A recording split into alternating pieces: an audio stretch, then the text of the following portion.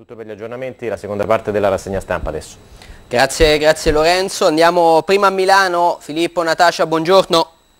Buongiorno. Buongiorno Roberto. Buongiorno, eccoci qua. Eh, È facile dire Milano, poi però eh, guarda qui cosa succede. Cosa succede? Eh, al Intanto non nord- vi vediamo. Eccovi Eccoci- qua. eccoci Ecco, qua. che può Eh, essere. al nord eh, soprattutto pioggia, soprattutto temporali ed è un po' la metafora di quello che sta accadendo nella politica italiana. Fino a ieri tutto Sì? fermo, tutto bene. No, Sì. tutto bene, tutto fermo. Oggi cosa facciamo? Avanti con le urne, fermo con Letta bis. Fermo con Letta bis, avanti con le urne. Ma guarda che non si, le- si scrive letta, ma si legge. Si legge? Ma si legge? Brunetta. Si legge Brunetta. Ah,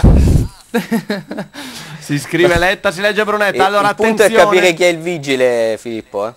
Ecco, Ecco. io no. E Io no, sicuramente qualcuno potrebbe esserlo. Però insomma è stato un weekend in cui eh, decisamente il barometro per il governo ha iniziato a segnare brutto. Sì? Eh, beh, il grande centro che inizia un pochettino a dare dei colpi. A traballare. Eh, eh, le colombe che vengono atterrate dai falchi. I falchi sempre più presenti contro Sempre le colombe. arrabbiati. Eh, quante percentuali daresti oggi a che il governo Letta andasse avanti fino al 2015?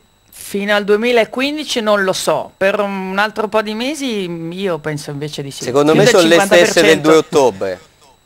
Ah, Sono esattamente le uguali. stesse del 2 ottobre le possibilità. Onestamente quello Uguali. che è accaduto nelle, nelle ultime giornate è la conferma di un processo che è iniziato il 2 ottobre.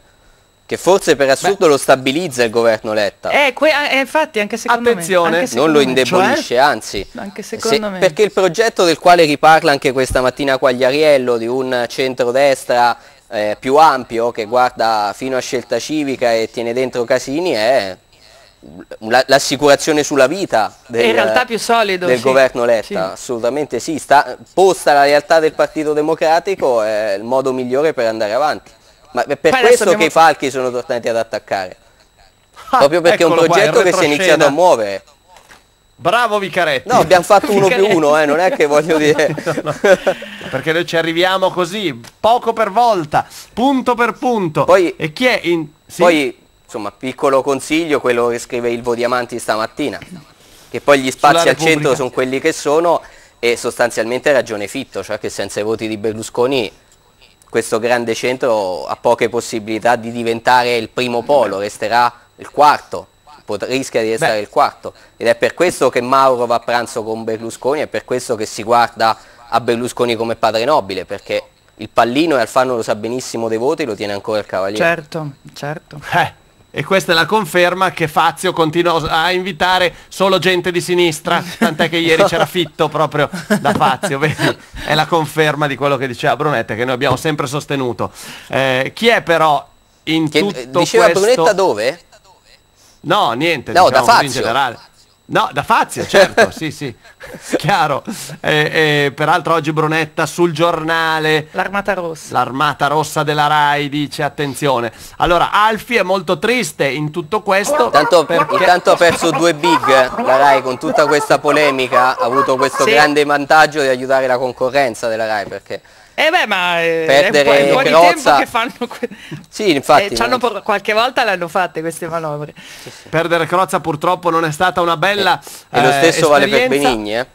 E, e- e ancora di più Benigni. Eh, Alfi però ci è rimasto male dopo aver letto i giornali di oggi perché, Perché? ha paura di finire come Empi. Eh, infatti io se fossi lui Ma io riprenderei l'appello di Natascia che l'anno scorso aveva detto lasciamo fare lasciamo gli animali da compagnia fuori dalla, Sì, dalla sì. competizione elettorale No, soprattutto, esatto, cioè non se la prendesse con quel povero cagnolino. Guarda, se non avessi già due musi di pelo con la coda a quattro zampe piccoli, cioè inteso gatti, mi proporrei per adottare Empi. No, perché mi impietosisce quel povero cane. Cioè adesso è colpa di Empi, vabbè, niente. No, beh, Empi... No, lo so, perché lei scorretta, scorretta la Bignardi a consegnare. Poteva lasciarlo lì, eh, poteva darla a qualcun altro. Adesso non è che Empi deve farsi capo espiatorio del fallimento politico di Mario Monti, perché questo è. Forse la risposta più bella è stata proprio quella della Bigliardi che ha Bau. scritto si commenta da solo, punto. Bau su Twitter al professor Monti. Però insomma insomma la preoccupazione di Alfi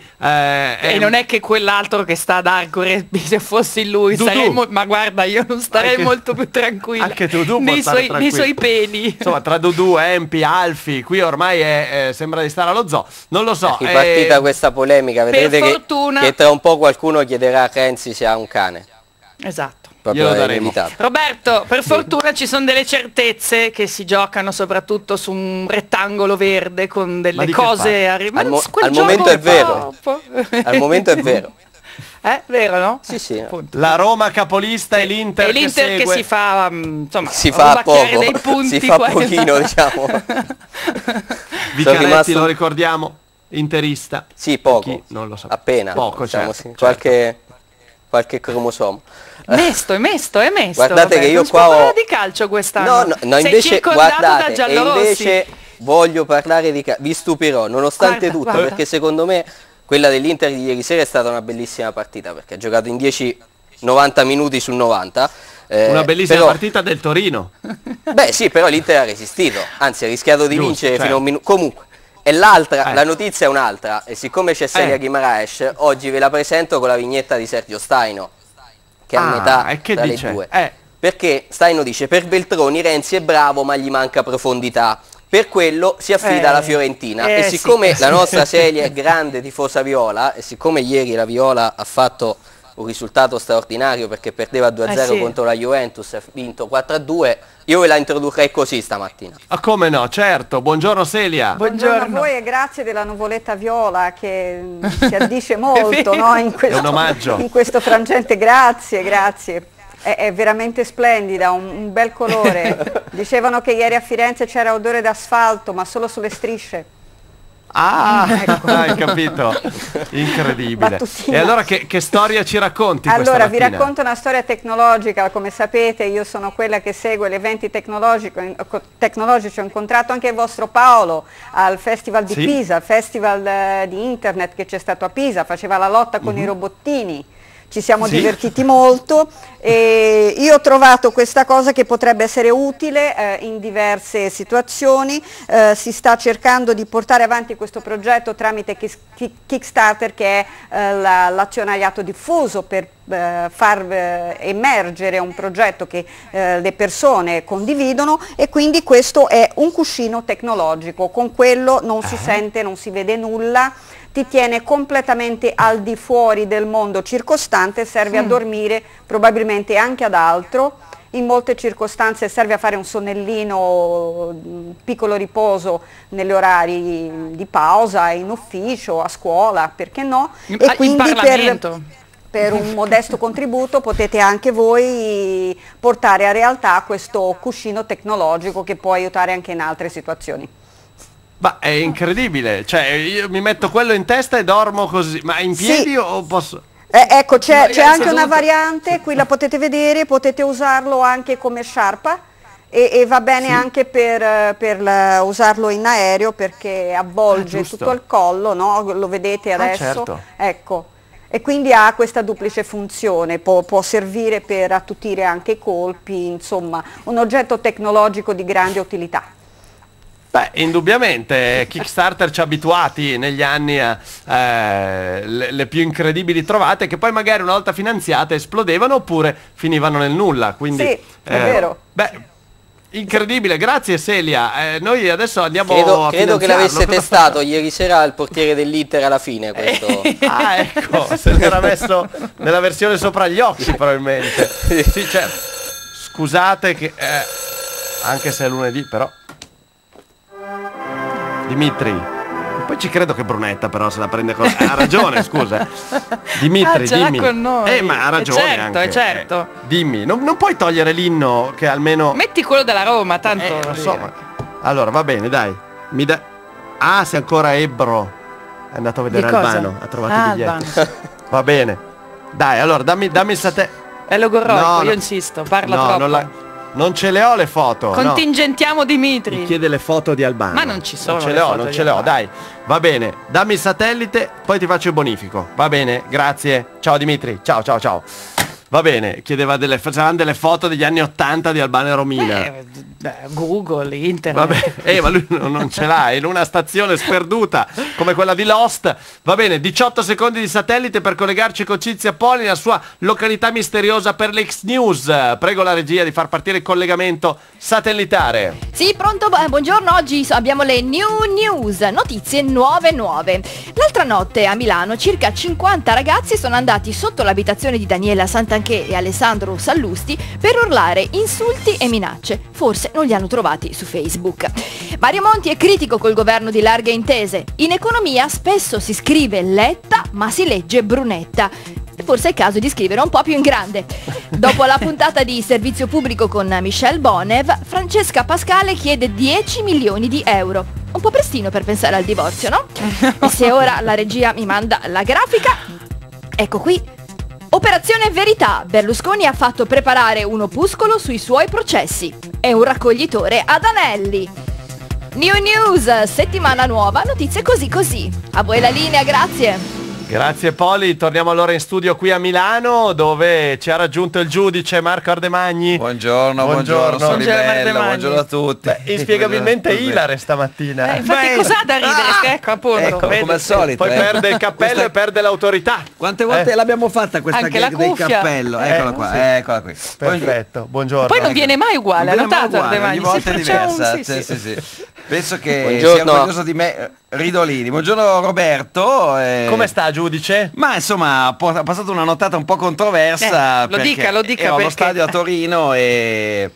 Insomma, non dovete andare allo stadio questa- quest'anno voi interisti, scusate, No, cioè, no, ma- dateci il minimo Ti indispensabile. ragione preoccupare Natascia. Fanno di tutto per non mandarci nessuno allo stadio quest'anno, non solo quelli dell'Inter. eh. È vero, è vero. Esatto, questa Però- altalena di emozioni comunque, cara Natascia, perché Ma io, beh, insomma, allora, eh, la prima condanna infatti è proprio per l'arbitro Doveri, l'arbitro di ieri Ma di, che ha fatto? Dito, beh, insomma, ho fatto un'espulsione. Allora, rigore c'era del Torino, che poi, peraltro hanno sbagliato. Eh. E Però non c'era, non rosso ad Andanovic. Che Ormai l'occasione era andata e poi c'erano due rigori per l'Inter. Allora, Eh, condanna Ma- per l'arbitro. Marco, eh, dissento. già, almeno uno. Dissente. Almeno uno. ve- vedi, vedi, Ma una persona seria. Bravo, anche su, pensa, sta- dissento anche sul rosso.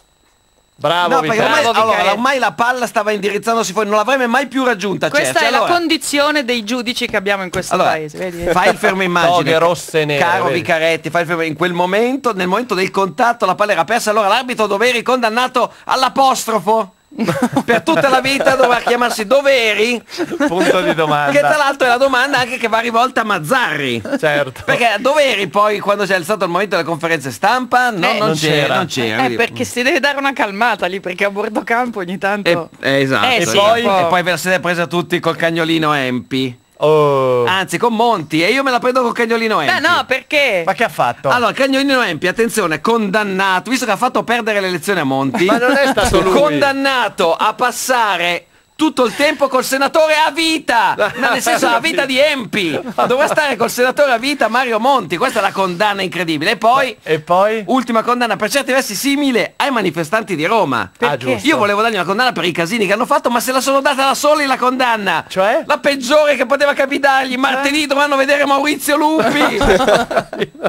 se la sono inflitta da soli. Giudice! Ma cosa c'è di co- peggio? ma- martedì ma già è martedì, poi vedevi anche Lupi. Ma povero Lupi! Ma le pare? Io dissento dal suo prendersela con i manifestanti comunque. C'è una Beh, parte di manifestanti no, con da- No, con, no, con da quelli che fatto con quelli che fanno casino, Eh, certo, ma non saranno no. loro Non sarà- a incontrare Lupi. non Lupi. saranno- eh, no, quindi è vero, bisognerebbe mandare i più violenti da lupi perché Gli altri. No, vabbè. ma no, mica perché balla coi lupi. vabbè. Giudice! È tutto. La ritroveremo alle 10 in punto Eh, su Radio purtroppo 2 sì, qui sì, sì. per la sempre sfida. con questa parzialità. Oggi avremo il più grande giornalista italiano sportivo di sport paralimpici. Ah, Gianni Mur. Ah no, ok. No, No, no, sport- sport Paralimpici, allora Claudio Arrigoni. Claudio Arrigoni, Eh, certo. ovviamente, grandissimo, giocherà con noi, ci sarà anche uno scrittore, anche Ah, oggi. bene, finalmente Umberto Eco da noi. No, non Umberto Eco. E poi la campionessa di venerdì. Eh, è ovviamente iniziato anche il campionato di basket, quindi una grande vittoria eh, Adesso di inizia- Milano. no, smetterà di derby. sorridere anche Filippo prima o poi, quindi sappiamo. No, ma eh, perché? sorride a intermittenza. Beh, abbiamo vinto il derby ieri contro Varese. Sì, ma non era la prima Solibello, c'era stata prima Brindisi per Milano, se non ricordo male. Vabbè, la, la prima giornata non valeva perché Milano aveva perso, quindi è iniziato ieri ufficialmente Valeva, il campionato valeva. di basket con la grande vittoria di Milano nel derby contro Varese. Detto questo, abbiamo detto tutto. Torna la pioggia, ma che fa? No, Esatto. anzi, scende la pioggia, ma che fa? Crolla tutto intorno a me. Ciao, ci vediamo Ciao. domani alle 10 qua su Radio 2. Eh? Ciao. Ciao, Ciao, a Roberto. domani. Chi avete domani. voi oggi? Chi Noi- avete? allora, siccome si parla di nuova democrazia cristiana, abbiamo pensato di chiamare Paolo Cerino Pomicino.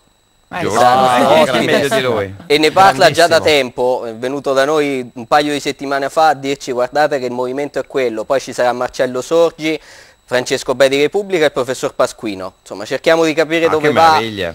La politica italiana, Qua- qual è la rotta segnata sul navigatore, come ha detto Beh, ieri Monti. questa. sul GPS. Temo che, Pioggia. temo che quel palo lì non lo evitiamo. Comunque, arrivederci. Arrivederci.